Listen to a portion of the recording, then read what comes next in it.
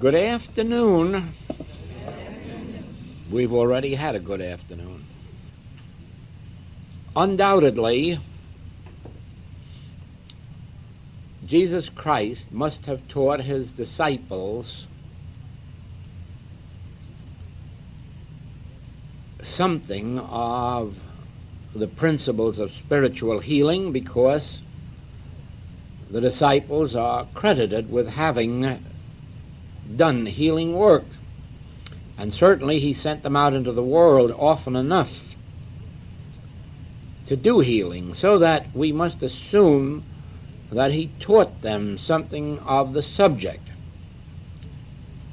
None of it, however, has gotten into the New Testament. There is no evidence there of any teaching on the subject of spiritual healing, that is, of how it is accomplished. There are quite a few statements which indicate what the healing principles may have been. There are many reasons for believing that we know the basis of Jesus' healings. There are no teachings, there are no principles revealed except by inference.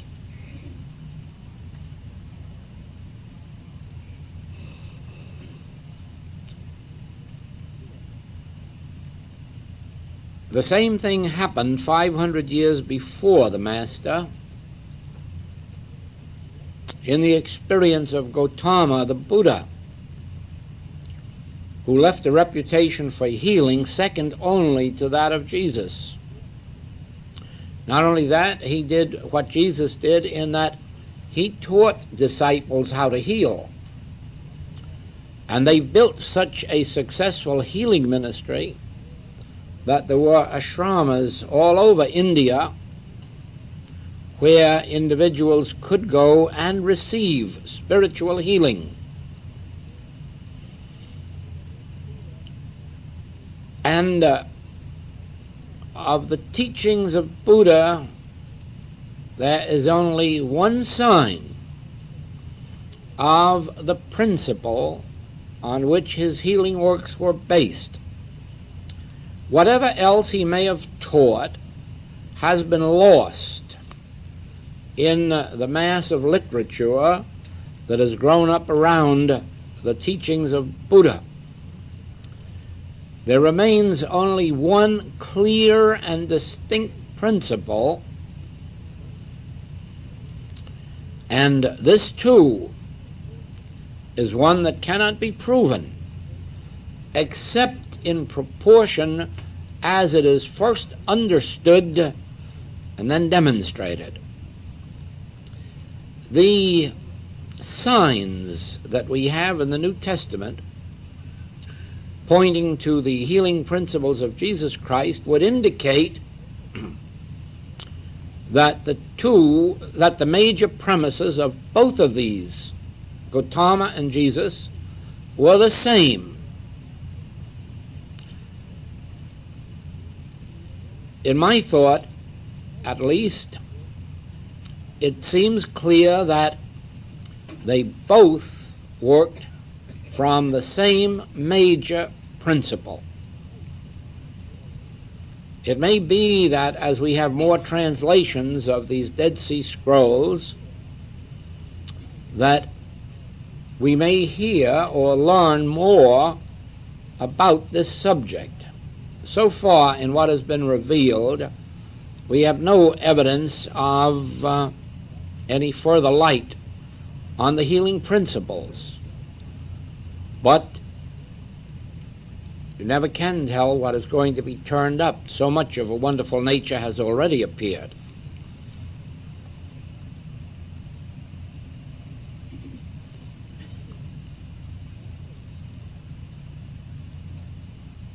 In modern metaphysics, And by modern, I mean the last 90 years. There have been three textbooks on spiritual healing or mental and spiritual healing, which have stood the test of time and uh, which are authoritative and which have produced healing works, not only for thousands of people who have read them and studied them, hundreds of thousands, but have developed wonderful practitioners who have healed literally multitudes.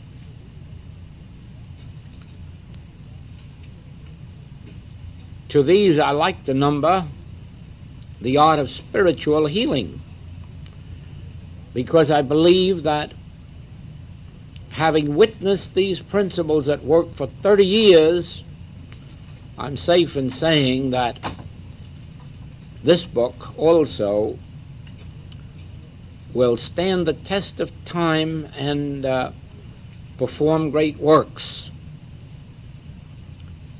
I wouldn't say this if it were a newly published book without a background, but behind it is 30 years of healing ministry, plus 14 years of watching students whom I have taught those very principles. Now,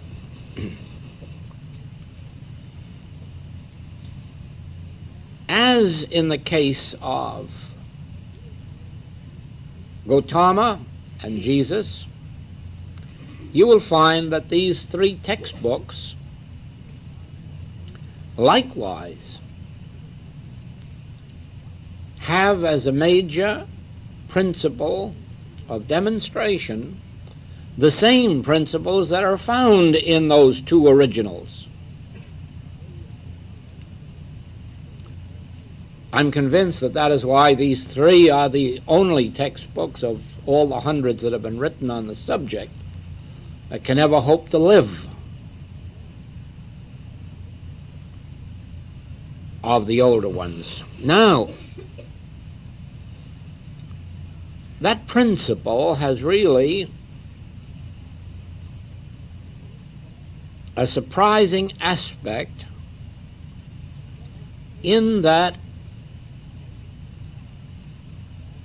it doesn't go to God, it doesn't pray to God, it doesn't ask God or tell God anything.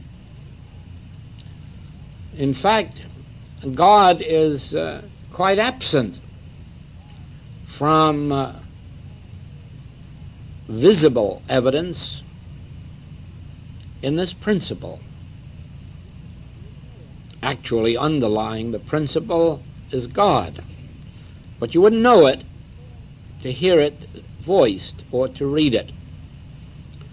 Because the principle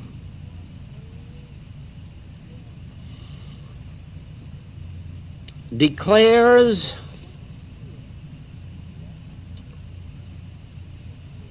that what appears to us as the discords of this world, the sins, the diseases, lack, limitation, and death, that these are of an illusory nature.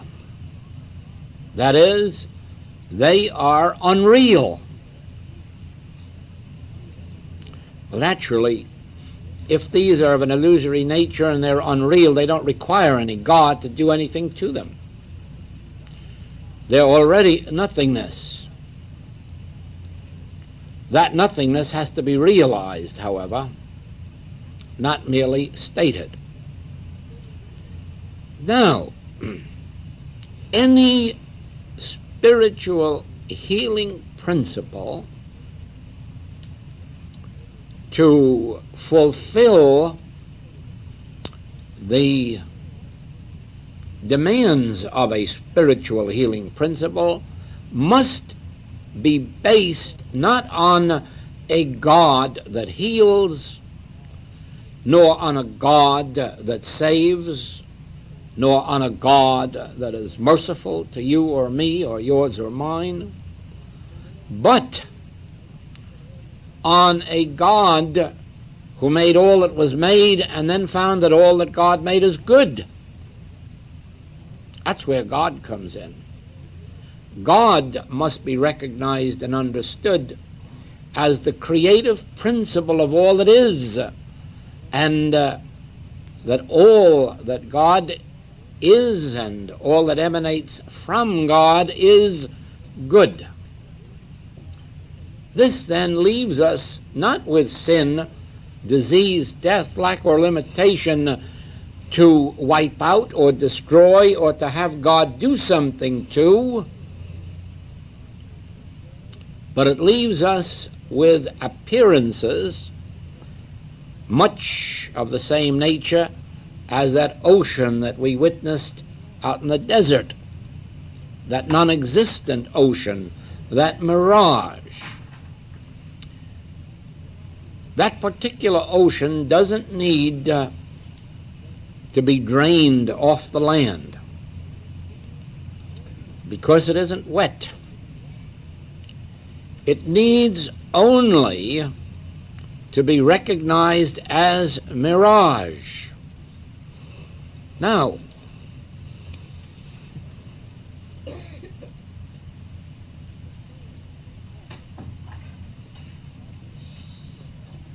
the saddest part of the entire teaching of a spiritual uh, message is this that you have to start with the acknowledgement that even uh, though it says so in these books, it isn't true and uh, can never be made true until realized. Ah, there is the rub. When we say evil is unreal or error is illusory, when we say disease uh, has no law, we're not telling the truth. That's the sad part. As long as there is a material and mental consciousness, sin, disease, and death, and lack and limitation will be real. Infection and contagion will be real. Accidents will be real. To material and mental consciousness. And uh, they will only be proven unreal in the presence of uh, the fourth dimensional consciousness, the Christ or transcendental or spiritual, whatever you'd like to call it. Now, this is probably the most important point for every metaphysician to understand whether or not he is practicing healing through Christian science, divine science, unity, or new thought. This that the words, the statements, the books,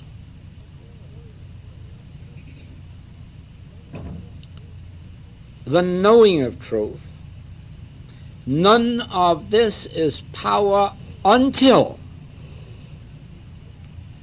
you attain the spiritual dimension of consciousness, until you attain the spiritual awareness of the statement you are making. Let me illustrate this.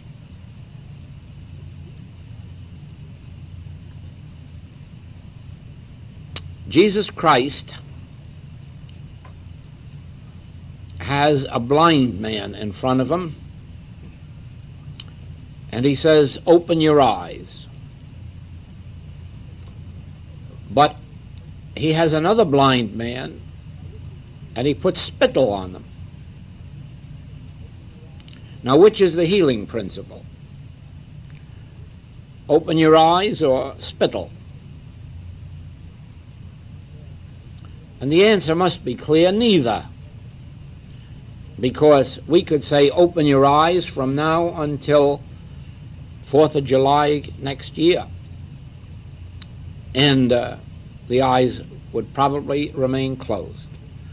And we could put spittle on blind eyes as long as we could produce it, and probably not heal a case.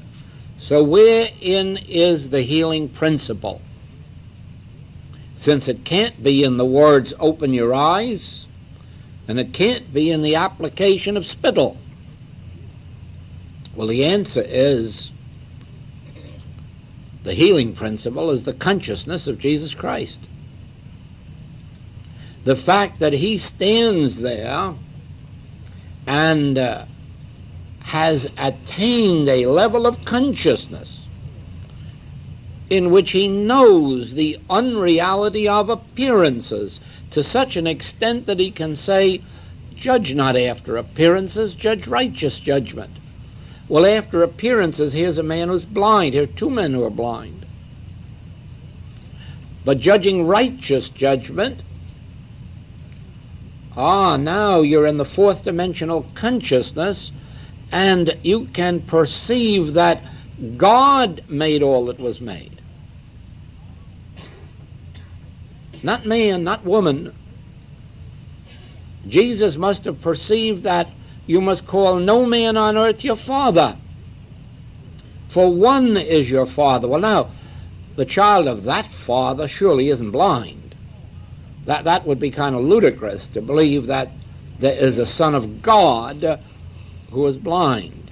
And of course, there never was one.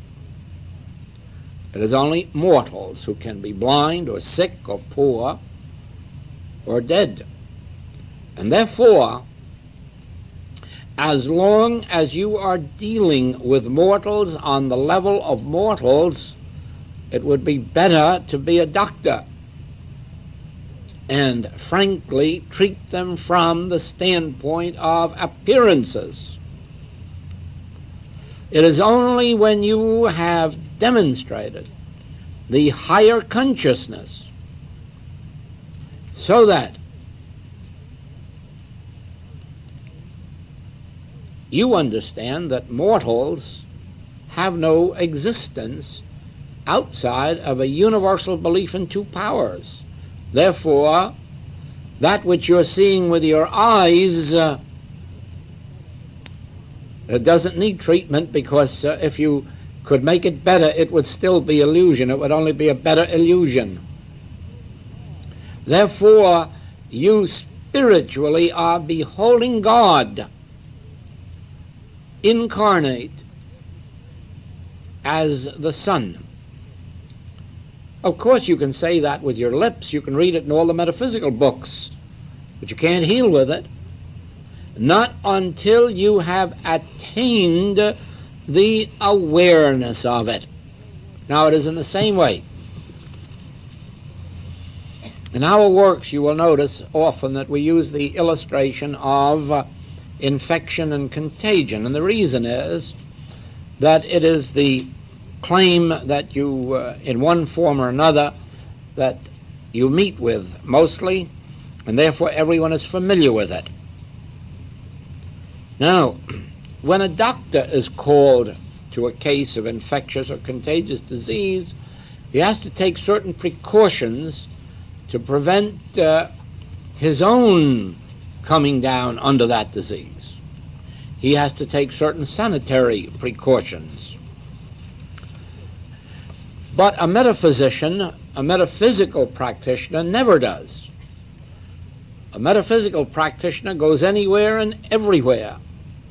And it makes no difference what the name or nature of the infection or contagion is, and in my entire experience, I've never heard of a metaphysical practitioner who caught the disease of his patient. I have heard of some who acquired the disease through mental uh, transference. That's quite a different thing. But no practitioner need fear going out to any case of infection or contagion because in the fourth dimension there is no power but God, and therefore there is no power in that which is called a disease germ. Now, don't make the mistake that many metaphysicians do and go around saying, oh, germs are in power, oh, infection and contagion is in power, because too often you find out they are. It is only when you have entered that fourth dimensional consciousness in some degree that you have rendered infection and contagion of non power. And so it is. All metaphysical writings agree that disease is unreal. But only those can prove it who have in some measure attained that fourth dimensional consciousness, that transcendental consciousness, which sees not the appearance, or rather, even if they see it with the eyes, do give no recognition to the appearance, but to that which underlies the appearance, like looking at the mirage and seeing water, but through intelligence giving it no concern and going right ahead with the automobile and driving through it. Why? Because through intelligence we look through the uh, flood of water on the road, recognizing its nature as mirage, and go through. So it is in transcendental consciousness, in fourth dimensional or Christ consciousness, you can heal blindness with spittle. Not because spittle isn't a power, you are proving that because spittle isn't a power and it can cure blindness, that blindness never was a power. Now, let us start with the recognition that healing work cannot be accomplished with the letter of truth alone, but that there must be an accompanying degree of spiritual awareness in which that which is real in the material and mental realms are rendered unreal are negated, are dissolved.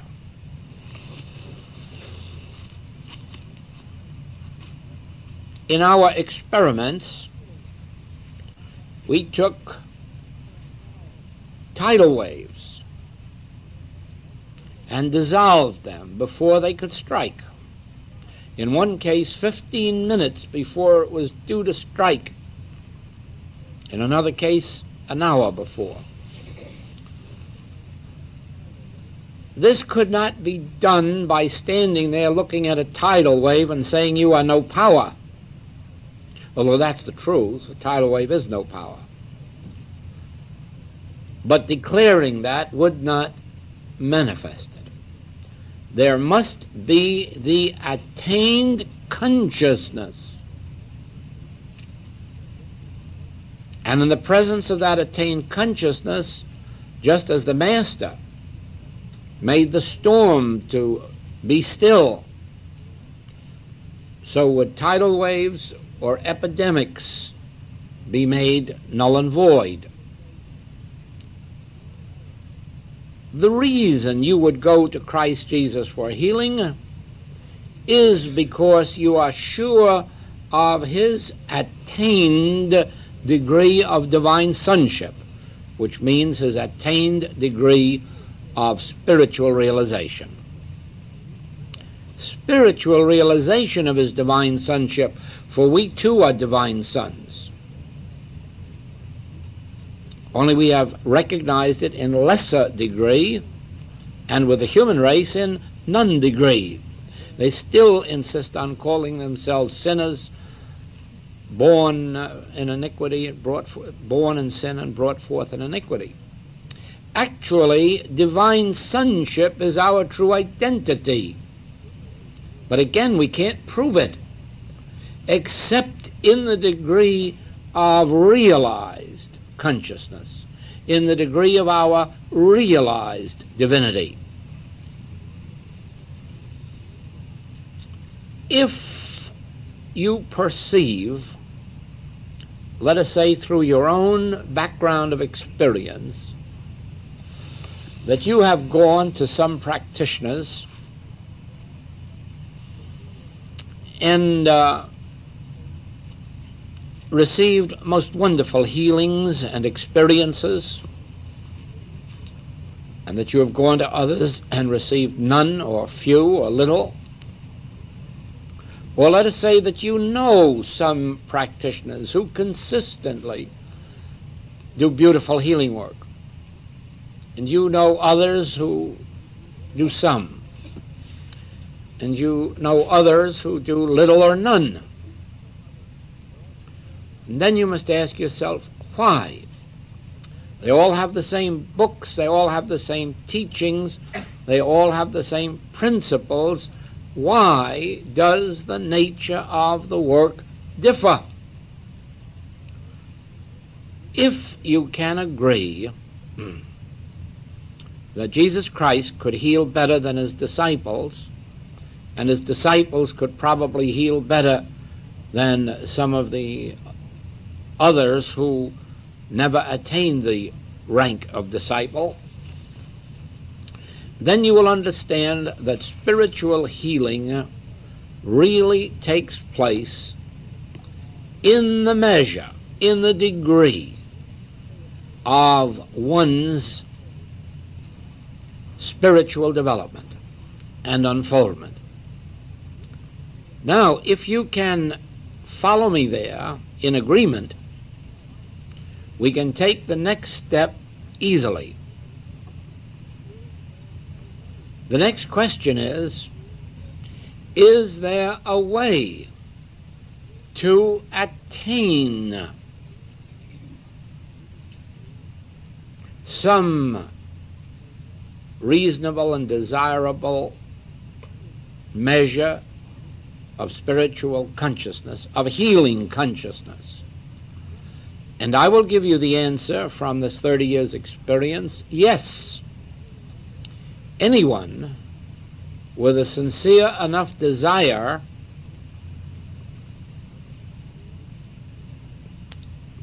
not quite.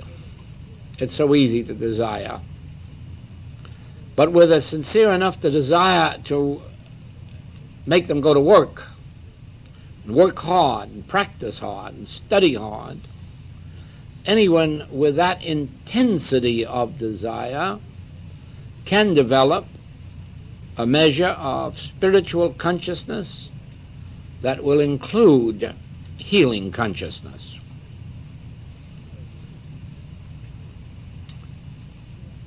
How is this accomplished? And here I must say to you that different approaches to truth have different principles. And therefore, I am not qualified to speak for any of these. I am qualified only to speak from the standpoint of the principles of the infinite way. Be assured of this, however, that there have been enough Christian science practitioners do wonderful healing works in all the world so that we must know that they too have uh, healing principles. There have been enough wonderful healers turned out by unity so that we definitely know they must have healing principles. Therefore, let us say that wherever a student will follow the principles that seem to fit their state of consciousness, they will evolve. Our work differs in this. All that has been given to me that constitutes the infinite way was given by revelation. And therefore, our basic principles differ from much that has been taught. And while on this one subject we are in agreement with all, that is, the unreal nature of that which you see, hear, taste, touch, and smell. In that we are in agreement with every one of the recognized successful metaphysical movements and the teaching of the Master and the teaching of Gautama. But from there on, we follow a line of unfoldment that may have some place in those older teachings, but they are not revealed. So far as I know, this is the first time with the Infinite Way that the major healing principles which are embodied in our teaching have been revealed. Let me start with the most important principle and one which is in disagreement with every other metaphysical teaching. That is the impersonal nature of evil. The infinite way reveals that you are not responsible for the sins you are committing or the diseases from which you are suffering or the lack or the limitation. And neither are your parents or your grandparents. And neither is the Democratic Party or the Republican Party. And the Communist Party won't solve them.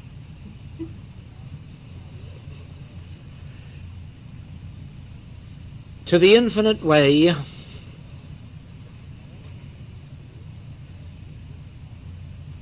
whatever the name and nature of your problem, if you have one, and you have just living a human life as problem alone, enough, even if it's a healthy and wealthy one. Regardless of the name and nature of your problem, it does not have its rise in you. And therefore,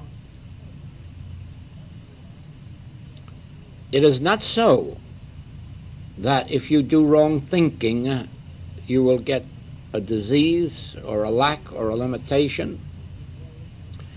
It is not true that if you worry, you'll get ulcers. It is not true that if you have resentment, you'll get rheumatism. It is not true that if you hate or are envious or jealous that you'll get cancer. This is an exploded teaching that began with Quimby, was carried on by Mrs. Eddy in her early years and later discarded, and then picked up by New Thought, finally by psychosomatic medicine, and a few other of the medical worlds, and someday must be thrown out because there never was a word of truth of it in the beginning, and there isn't a word of truth in it now, and nobody has ever been able to prove that there is. Disease does not have its rise in you, nor does fear, nor does lack nor does death. All evil is impersonal. And if you could make yourself the sweetest, gentlest, most loving, most moral, most honorable human being in the world, it wouldn't have one single to do with your bodily diseases. They'd still be there. Your turning from a bad human to a good human will not cure your diseases or your poverties or your lacks. It'll make you a better human, of course, nicer to get along with, much better to be married to. But it will not heal your diseases. It will not heal your meet your problems. As a matter of fact, I hope this won't discourage you. We have much better effect with men in prison and men in asylums than we do with the good church people. Much better. The good one seems to have some kind of a righteousness about being good, as if they were good of their own accord, as if they could help being good. But that sinner, he's humble. He knows he's a sinner. He knows he doesn't deserve anything from God, and he's grateful for a crumb, and he gets a whole loaf of bread. No, I might also add this. I'd much rather have an atheist for a patient than I would a good, solid Christian or Jew or Hindu. Much, much rather. Much easier to get along with, much easier to bring to the realization of the true nature of truth. They're always looking for miracle leaders and miracle somebody or other who uh, already humanly perfect. Let us get straight on this first principle, and you'll have very few problems with the others. If you are dealing with a problem of your own, or of a relative's, or patient, or student, watch the miraculous result when you stop malpracticing them, when you stop calling them a sinner, when you stop laying the blame on their unlovingness or their ungentleness or their ungratefulness or whatever it is you think they're guilty of. Watch the miracle result when you start to ask forgiveness for having uh, pinned sin onto another or seen sin in another or as part of another. Watch what happens when you begin to apologize to God that you have been ascribing mortal qualities to the Son of God. Watch what happens when you begin to realize that all evil has its source in an impersonal source. An ancient mystic and heaven knows I don't know who he is, but he was one of the greatest who ever lived, coined the name for this impersonal evil and called it Satan or devil. Finest name, really, that's ever been given to us, next to the name of God itself. Why? Because seven, Satan or devil was never presented as a person but as an imperson, not a man or a woman. An impersonal something, completely external to an individual. As you can imagine, watching the Master, Christ Jesus, as Satan stands before him tempting him. Nobody is blaming Jesus for having ambitions. Nobody is blaming Jesus for wanting to use trickery to get food. Nobody's blaming Jesus for any of those three sins. It's all blamed on the devil. And rightly so. Only why blame you or me? Why not blame the devil with us too? Why say you are jealous, you are envious, you are stingy, you are hateful, you are malicious? Why? Why? Why not see you and me standing there pure as can be and see this devil out here tempting us and place all of those negative qualities in good friend devil? And then what happens? You and I, you and I can say, "Get thee behind me, Satan," and just stand there, watch him while he folds up and disappears, and is never heard from any more. Why, Jesus didn't get one single bit of blame for any of those three sins. It was all the devil. And as long as he denied the devil, the sins never get into active expression. They remain dead, lifeless, unexpressed. As long as they were attributed to a devil and the devil wasn't accepted. Now, watch this effect in your life when instead of pinning these evils on yourself or your neighbor, your patient or your student, you see each other as the pure and undefiled Son of God. And then realize that all of these temptations, it makes no difference whether it's hate, envy, jealousy, or whether you call it cancer or polio or rheumatism. It Makes no difference what name you give them, as long as you pin them onto the devil and not onto man. Then, when you've got them well pinned onto the devil, say, Now get thee behind me, Satan, I'm not interested. Then watch how you have nothingized these claims by impersonalizing them first, nothingizing them second. Never taking them into your consciousness, never pinning them onto yourself or another.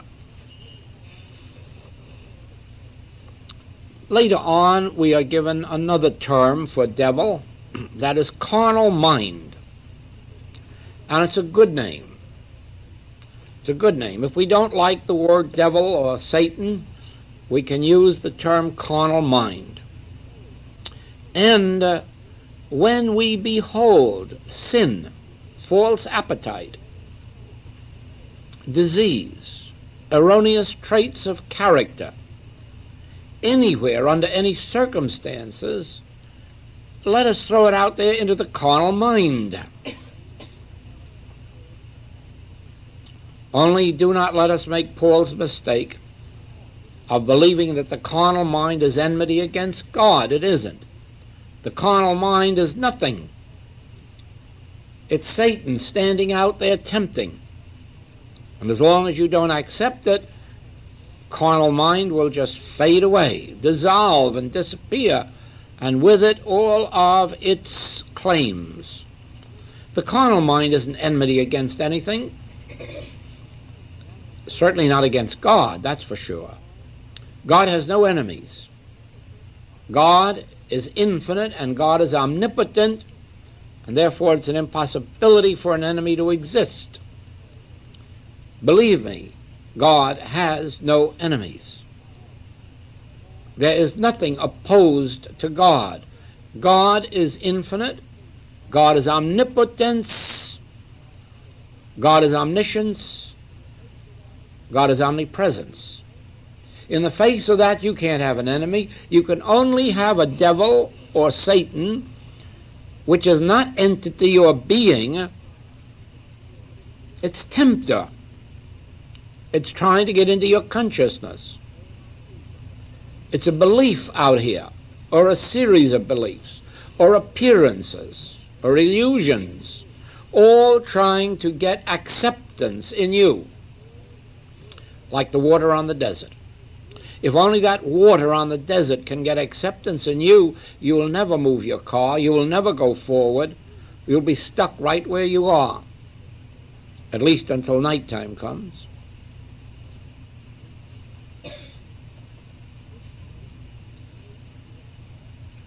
If you can be made to accept appearances, and appearances always testify to sin, disease, death, lack, and limitation, if you can be made to accept them, you are in and of the material and mental consciousness which is a house divided against itself because it is consisted it is constituted of uh, good and evil.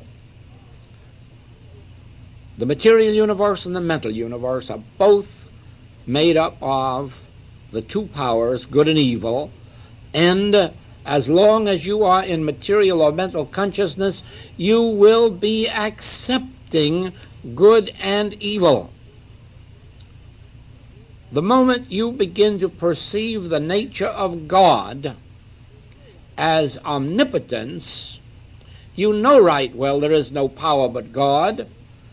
Therefore, there is nothing that could create an entity or identity of evil. Therefore, any such appearance must be as illusory as the devil that stood before the master.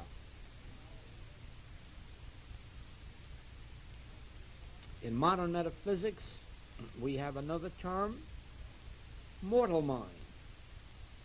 If you like, there's no reason why you shouldn't use the term mortal mind as the source of this impersonal error, providing you don't start protecting yourself from it,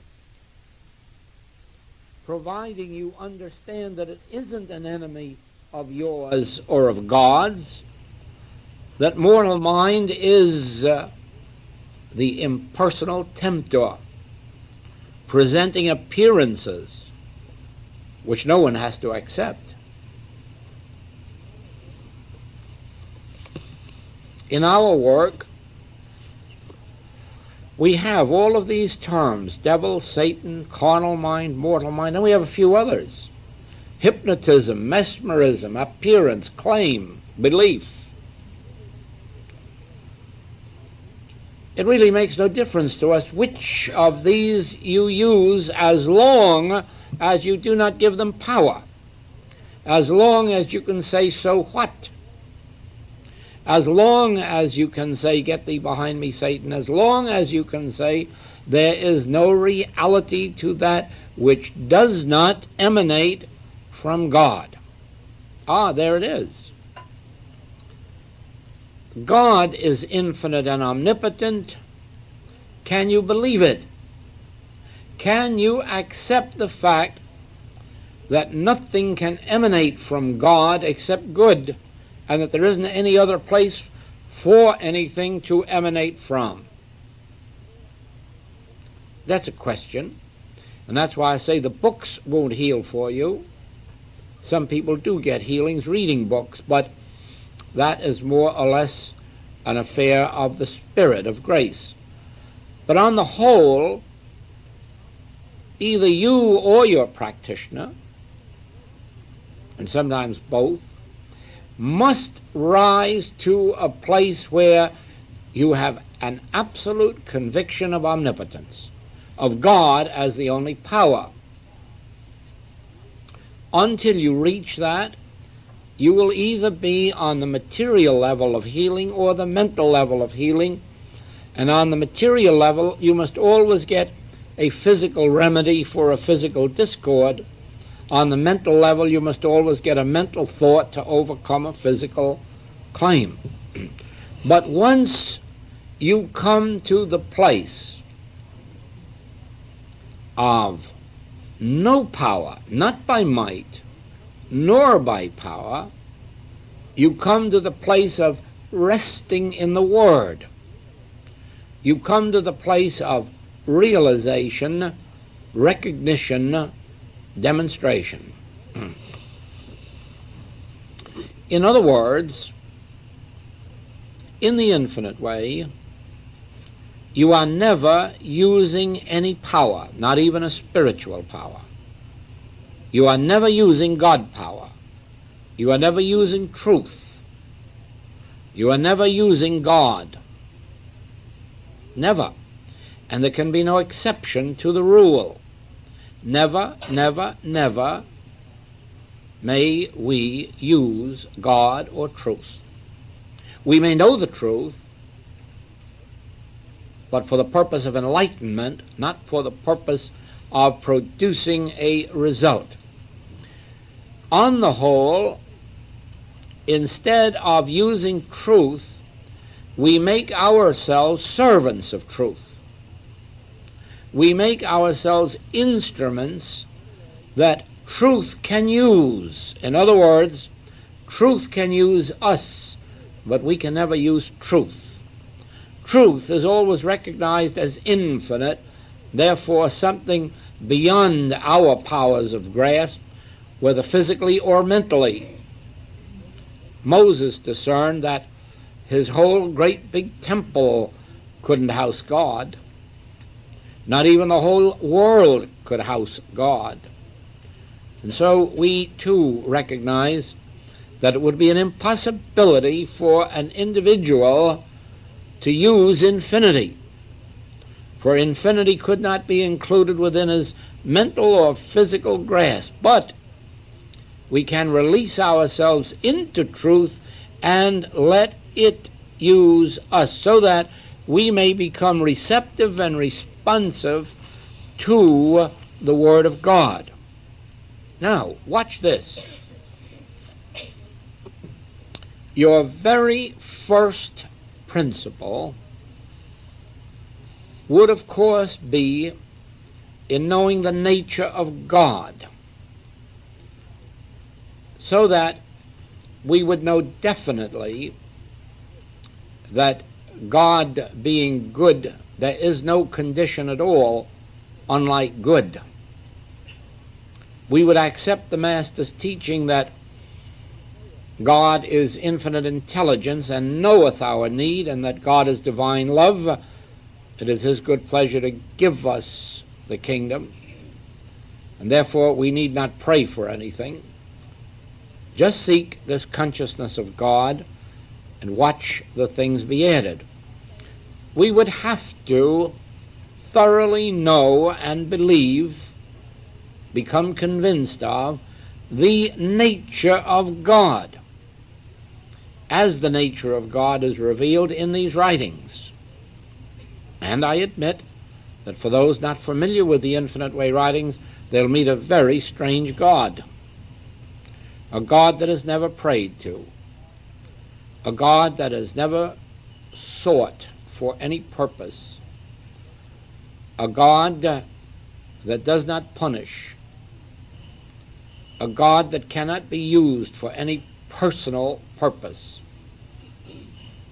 a God that cannot be used even for you or for me, a God that is so universal that it's already doing what God's supposed to do without anybody asking God to do it, a God that cannot be influenced by the thoughts of man.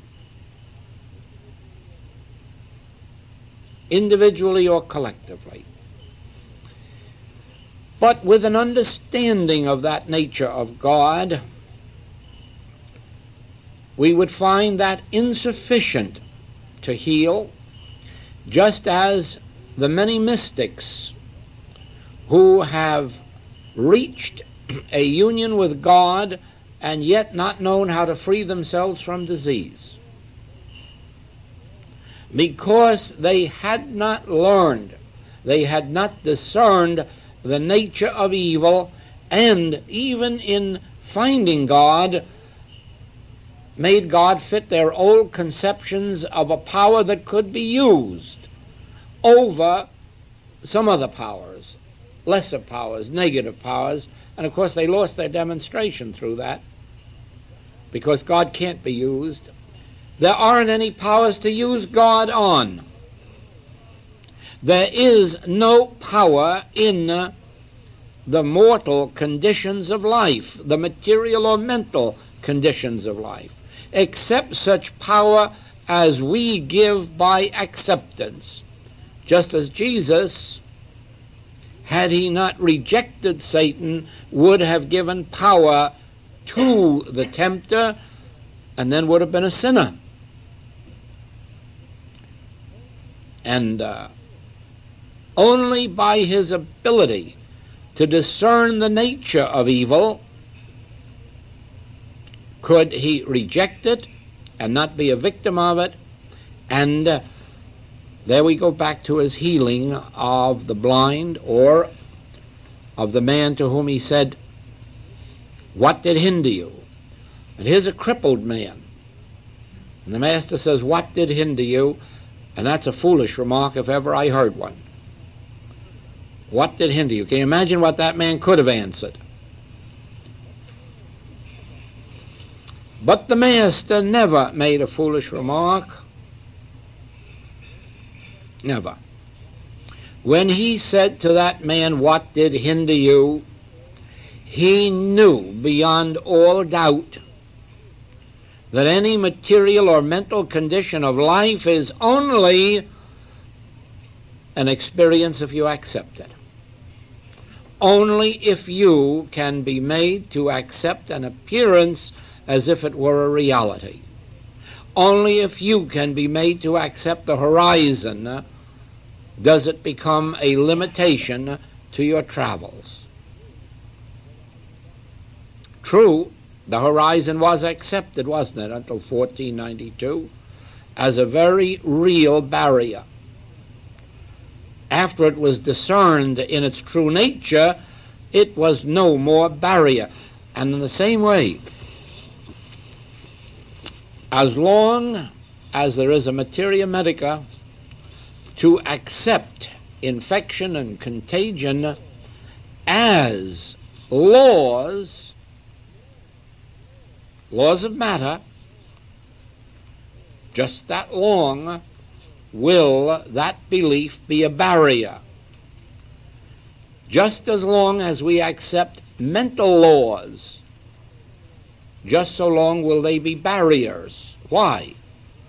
Because anyone on the spiritual plane can go in and prove they're not laws. Doing it every day of the week. There have been enough millions. There have been enough millions of healings through these principles to awaken the whole Protestant church to the fact that they must add spiritual healing to their teachings. Why do you think they awaken to it? Their people are demanding it. Why are their people demanding it? Because so many of their friends and relatives have been healed. How?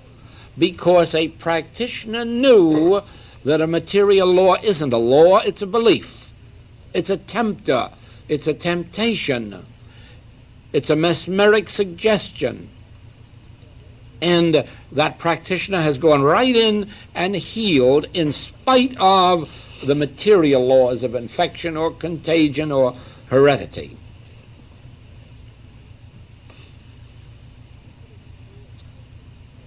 If it is true, as Scripture declares, and you may be assured it is true, that God is a lawgiver, God is the law, you can be assured of this that all law is spiritual. Because if God is infinite, then the only law that a spiritual God could reveal would be a spiritual law. And therefore, that which parades under the title of material law or mental law is fiction. And when it is so understood, you have enough of the transcendental consciousness with which to heal. Did you know that a few weeks ago, a great chain of papers across the whole United States published an article by the leading scientist of the world uttering the profound truth that matter is mind? It's hardly believable, is it? When you stop to think that that sentence was written 90 years ago and has been repeated all down through that time and rejected by the scientific world? Now, people say, well, of course, nothing else could be true. Why? Because Mr. von Braun said it. It is in the textbooks all the way back for 90 years that matter is mind. There is no matter as matter. Matter is actually mind, and that is why mind has power over the body. That's why mind can control the body, because the body is made of mind. Ah, yes, but who's going to believe a metaphysician? That article in the newspaper is going to change the history of the next generation, just like that, uh, that statement in the original copy of Science and Health has changed the lives of metaphysicians and has enabled mental and spiritual healing to take place, which never could have taken place if matter had remained matter to the metaphysician. Only because matter is mind can the metaphysician, either the